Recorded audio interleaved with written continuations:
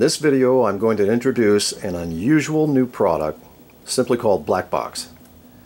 Then I'll show you how it can power our largest experimental generator, G1, which in turn will charge storage batteries.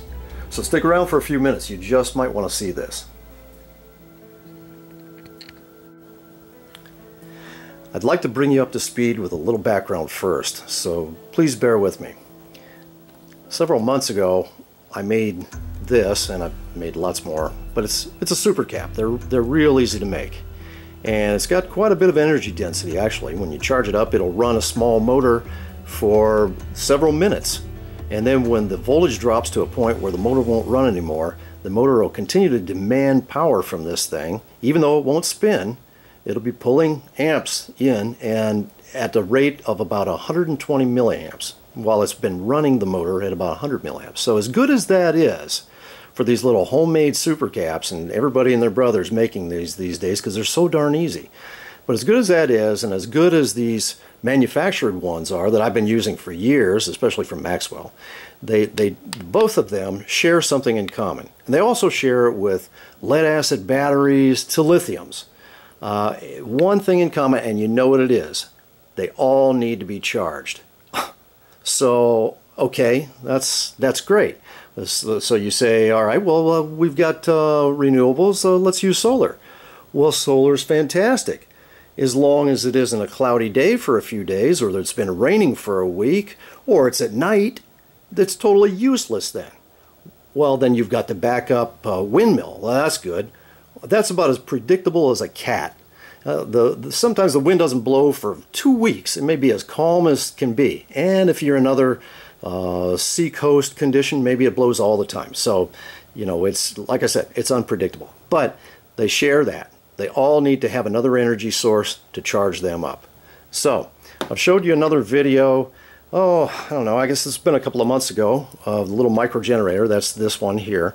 A little over 4 volts and then right after that video I turned around and I made this larger one. Now you can see that it looks like it's uh, well it's a little less than twice as long but this one was 4 volts. This one has new chemistry, better improved uh, uh, silicon crystal cells and so forth. This one was 25 volts. 25 volts is a, is a lot. So uh, naturally my instinct is to uh, destroy it and that's what I did. So I, I ran it through the paces and charged it. I did all kinds of things and, and just absolutely, well, it didn't totally destroy it. It uh, It's about 8 volts now. So anyway, it's still twice what this one is, but, but still. Okay, so, so that's, the and it's magnetic. Okay, I did that so you could see. And uh, all right, so the next level, the next phase was okay, uh, here's an idea. Why not take this nice cell? It doesn't have to be 25 volts, it, it could be, you know, 6 or 10 or whatever, 12. And why not marry it with the super caps? Have layers of super caps in here. Now you've got a little power generating device that stores its old energy in, in its own little super cap layers. Beautiful, beautiful idea. But you still have another problem. Energy density. Oh, shoot, okay. Energy density. Yeah, I knew that one was going to come up. So, next step. Fix the energy density. Now these are takeouts from an old, uh, a couple of old handsets, uh, you know, landline handsets. Uh, they're probably 10 or 11 years old, and they were plugged in for uh, years.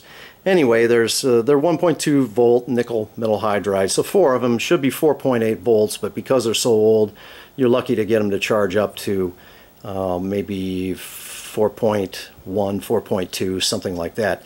And this particular power cell is an 8 volt cell. I know this thing looks like a little bomb, but it's not. Anyway, it's it's pretty cool. So you you drain the power. Now I've got a this is a 12 volt 20 milliamp LED and it's really bright so you can you can see it's I mean it's it's just total bright of course it's whoops that's just these magnetic contacts um, so the you can run this and run this and run this you know until you totally drain these batteries take the load off and then the cell recharges the batteries so you don't need outside chargers to do this. You don't need any kind of renewable. It does it on its own. So now there's a good idea. Okay, so with that in mind, can we make improvements on this even further? And here it is. This is the ultimate little cell. Now, now this thing, let me just show you, it's uh, clamped in this little clamp. It's, it's only about, um, this is about a little less than 3 eighths of an inch wide. And then the contact area where these, and they're just two long pieces of graphite. And basically, uh, all it is is, is just these, these pieces of graphite and the silicon crystal uh, cell and electrolyte in between. So this is about a half an inch of, of connection in here by this 3 8 so very tiny. So theoretically this thing should be able to output maybe uh, 0.6 or 0.7 volts consistently you know and and be able to hold that uh, and perhaps up to 1 volt. So I put this together and it's been oh maybe about five days ago and I haven't put it under a load or anything I just wanted to see what it would do for the first two three days or, or more and see if it could hold, you know, if it could generate power, how much power it'll generate, how many volts it'll generate. Actually, just the, the volts is what I was interested in first. And uh, how long it'll do that. Will it hold it day after day? So here's what it is. Let me, let me move some of this. All right, so we'll just take the meter. See if you can see those numbers. Yeah, I think you can. All right, and put the meter on it. 2.193 almost 2.2 volts on this little tiny itty bitty little sliver of cell I mean look at that that's just it's nothing you know and, and it's kind of like and it's simple stuff like this I mean, this, well, this this is much simpler, but this is just a, a couple of uh, carbon-coated pieces of graphite with an electrolyte in between. I mean, it's, you know, easy. You can make these in just a couple minutes. And everybody's doing it, so it's, it's real easy. But this, this is dynamic because not only does not only does it ex exhibit a lot of voltage, but it also stores some of that as well because it's it's also got that super cap layer in there even though you can see that this is super thin in between those those two plates.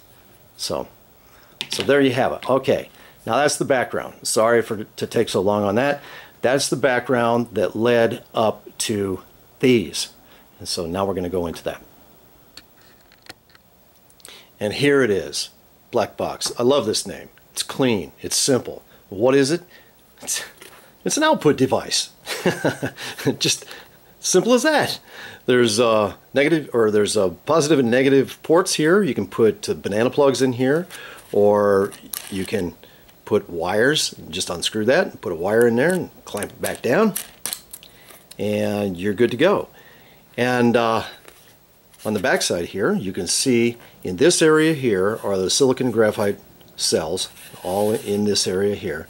And in here, connected in series, are these 2800 milliamp hour uh, Sunlabs batteries. They're nickel metal hydride, but they're the closest thing to lithium you can get without the hassles of lithium.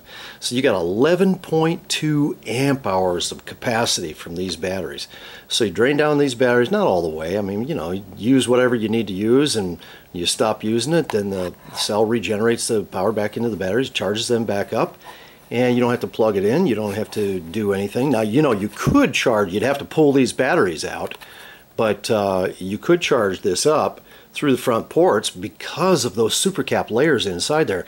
But I wouldn't do that if I, you know, I, I haven't uh, released this to the public yet because I've got uh, I've got these four that I've gone through some testing for the last couple of weeks and I just want to be absolutely sure that these things don't go out there like uh, I saw another device went out and I think there was like a 100% failure rate on it. I want these to be a 100% success rate. So, you know, I'm willing to uh, take the extra time. It doesn't matter. Uh, you may want this, you may not want this, whatever. Uh, I want to make sure that it's good. So anyway, that's what it does. these drain down, these recharge those, and on and on you go. So put the lid back on there. So the output on this, obviously those are 1.2 volt batteries. So you're going to get anywhere from 4.8 volts to, oh, 5.2 or 5.3 volts, something like that. You know, it, it just all depends on, on how good the battery is. Those are pretty good batteries, by the way. So let's just take a look. Let me start the meter up here, sorry. Oh, I guess I turned it off. That was great. Okay, so let's just check this out and see what we've got here. And it should be a little over 5 volts. And there it is, 5.31 volts. Not bad. Not bad. Okay, now on the other cells, so this one's got the batteries in it. I left the batteries out of these other cells. Uh, I think they're all out. We'll, we'll take a look. Let's just let's try this one. And so you can see what the uh, what the cells themselves put out without the batteries. Okay, so that is uh, 17, what was it, about 18 volts, and then pulls down about 17.6 or 17.7. This one, 18 volts, okay. This one, almost 18 volts, 7.94. So, so that's what, and and again, there's no batteries in, so you're just you're just seeing what the uh, what the uh, silicon crystal graphite cells are producing to recharge these batteries when they're in here. And I will put them in here when I run the G1 in just a minute. So that's it. I just wanted to make this brief, uh, this part, just to, to let you know. And there's a little uh, exper it's an experimental device, so I doubt there will be any kind of warranty on these. Um, that's why I'm testing over a period of time to make sure they're good. So, you know, so you get something you're happy with and you're proud of it and whatever and, and it's the quintessential black box. Ooh. Anyway, it's cool. So here we go.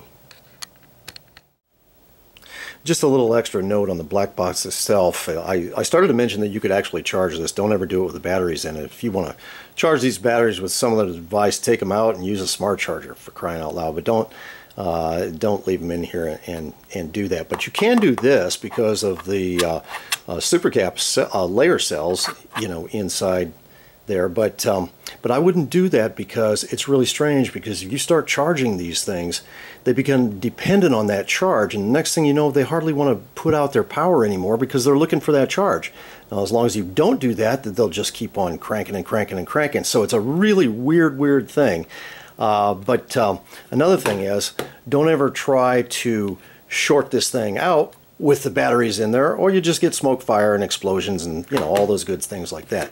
But you can with just the cells, and just to show you that yes, this is live cells. There we go. It's 18 volts. All right.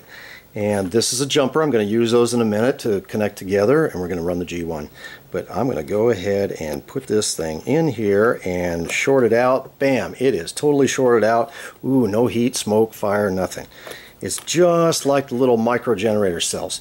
They just, you, you can short them out and leave it on there as long as you want and they just, it may take a little while for it to come back to full, but there it is, 17.4445 and another minute it'll be back up to 18. So just wanted to go over that with you too. Okay, I wanted to show you the back side of this first because I'm going to put these, I'm going to spin this whole thing around uh, while we charge the big battery with the G1. But right now I just wanted to show you what the setup is here. These are in series, the black boxes are in series with the jumpers and so forth. You see the connection. It's coming into this little buck converter with the LED readout. Really nice because these are producing about uh, 20 volts now. We'll just call it 20 volts. Uh, probably a little less than that because I had to preload these caps. So uh, I can, well, I can show you.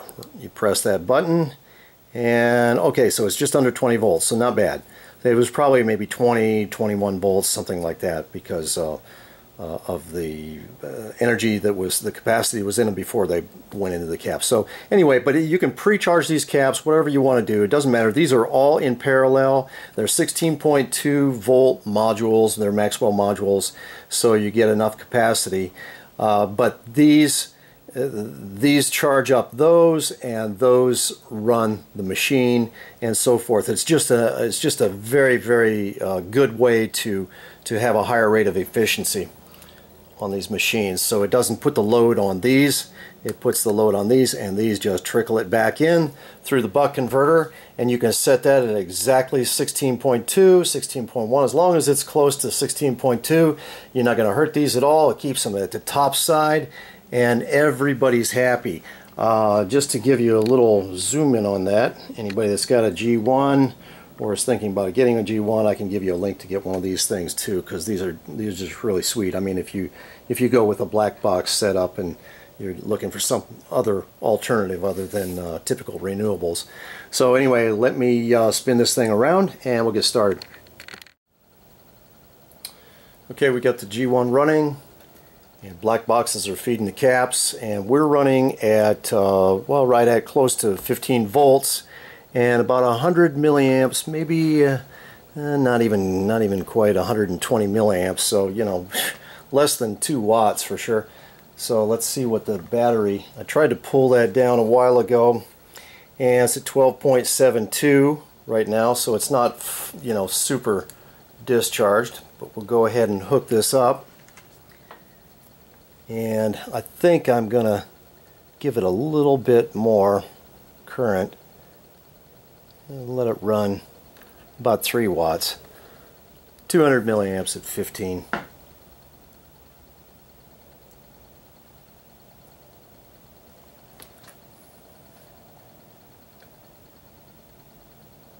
So what we're doing here is I've got the uh, I've got power coming off the three-phase rectified power coming in here and it's mixing with some of the inductive power coming off of these coils plus a little inductive uh, back spike which which helps out too.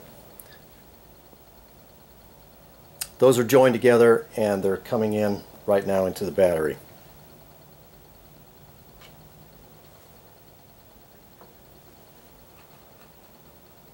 it's up to 12.74 I mean remember we're only running this thing on 3 watts. We've got 44 amp hours of, of capacity with these four black boxes connected in series. And we're only using 3 watts right now and we're charging this battery. Now I could put it up quite a bit more and the charge rate will come up faster. It'll just pull these down faster. So it's up to you whatever you want to do. I mean if you had a bank you'd want to set it a little bit higher, charge those up as quick as possible, and uh, that's that's just up to whoever's going to be doing. See, I could I could crank up the amps as high as I want to. I mean, I can take it all the way up if I wanted to, but I'm trying to be really conservative so that um, it'll do the job. See, I mean, it jumped up to 12.76 real quick like that. Just a little bit extra current in there.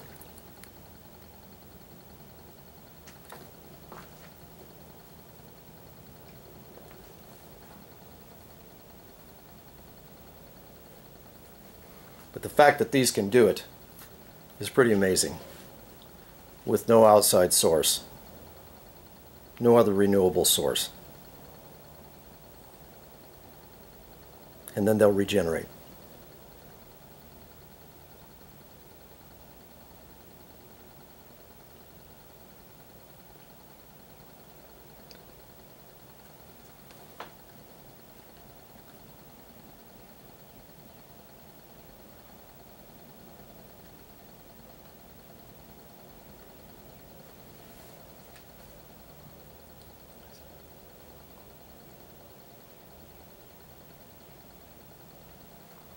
Well, that's it for now.